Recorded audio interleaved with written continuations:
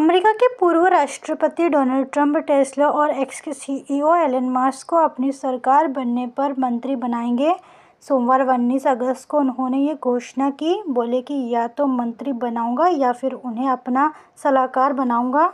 एक इंटरव्यू में ट्रंप से पूछा गया कि क्या एलन मास्क को सलाहकार की भूमिका या अपनी कैबिनेट का सदस्य बनाने पर वो विचार कर रहे हैं? ट्रंप ने कहा कि मैं ऐसा बिल्कुल करूँगा, वो बहुत स्मार्ट बंदा है, मैं निश्चित रूप से ऐसा करूँगा, अगर वो इसके लिए तैयार है तो मैं उन्हें किसी न किसी भूमिका में सरकार में शामिल करूँगा।